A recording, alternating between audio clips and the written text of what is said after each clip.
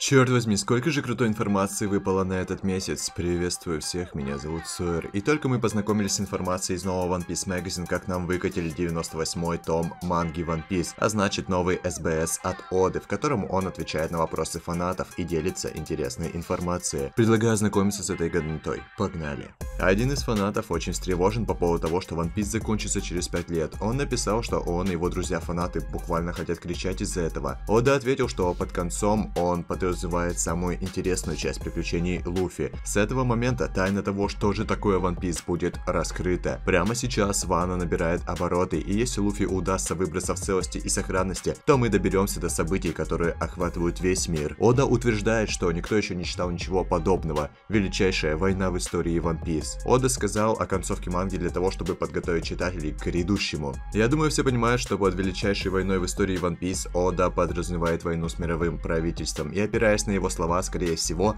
катализатором ее станет раскрытие тайны того, что же такое One Piece. На самом деле это довольно странно, ведь у многих из нас в голове будущий сценарий подразумевает арку Эльбафа после Вана, но при этом сам Ода ничего про это не говорит. Вполне возможно, он планирует выкрутить сюжет в другое русло и начать финальную войну сразу после Вано. Плюс вспоминаем слова о том, что One Piece входит в финальную сагу. И очень вероятно, что тайну One Piece мы узнаем даже раньше, чем ожидаем, уже после арки Вана. Во всяком случае, арку финальной войны Ода хайпит как может. Хочется верить, что это действительно будет невероятной историей.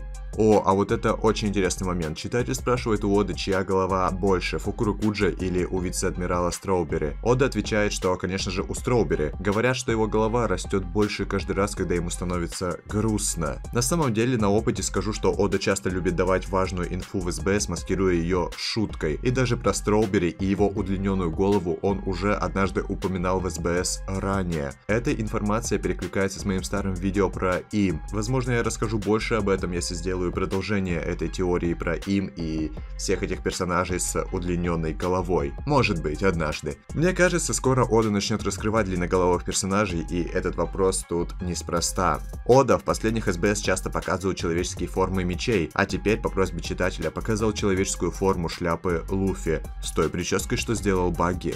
Еще кое-что интересное. Читатель спрашивает, почему люди презирают клан Козуки в нынешней стране Вано. Разве Шинобу не прояснила это недоразумение? Дело в том, что люди, которые верили в клан Козуки, были убиты Орочи и Кайда, а детям промывают мозги на уроках истории. И все настроение и взгляды жителей попадают под влияние Орочи. И тут Ода говорит, что промывка мозгов и пропаганда является распространенным действием и в нашем мире. Ну, это уже стандартная тема для Оды делать аллюзии на современный мир через призму своего произведения. Дальше Ода раскрывает имена, рост и специальные атаки членов Анива Баншо. В целом здесь нет ничего важного, немного юмора и в основном различные отсылки на японскую культуру в атаках и именах персонажей. Из интересных имен тут Казыкаги, чья специальная атака это призыв, Ханза, Сарутоби, Фуджин, Райджин и так далее. Занятно, но для сюжета не так важно.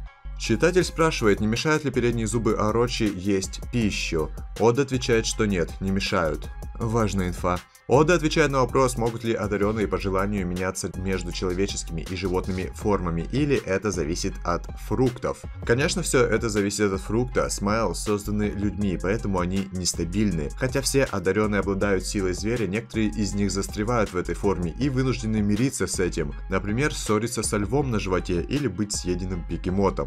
Некоторые пользователи Смайл получают действительно мощные преобразования, но на самом деле это все рулетка. Ну и под конец СБС по традиции Ода нарисовал Чоппера в возрасте 40 и 60 лет. В двух вариациях. Сверху это если у него все будет хорошо, а ниже вариант, в котором у Чоппера жизнь сложится не очень. Но есть еще одна очень важная информация. Ода опубликовал рост и возраст, а также любимую еду всей летающей шестерки. Интересно тут то, что возраст Черной Марии составляет 29 лет. Она чертовски молода, а это значит, что она никак не может быть матерью Химата, как некоторые читатели думали. Хоть вариант и был неплохой, но про мать Химата мы вряд ли что-то узнаем, ибо матерей One Piece, блять, не любят. Вот такой информацией поделился Ода, что думаете насчет финальной войны и раскрытия тайны One Piece, и как теперь строите дальнейший сюжет, отпишитесь в комментариях, а на этом все.